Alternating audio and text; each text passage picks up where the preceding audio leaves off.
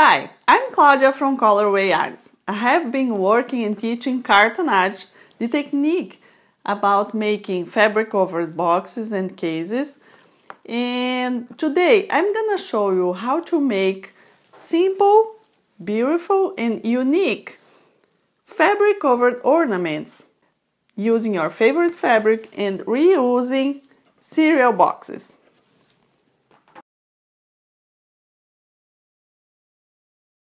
I hope you enjoyed this video and can make a lot of those for your Christmas tree.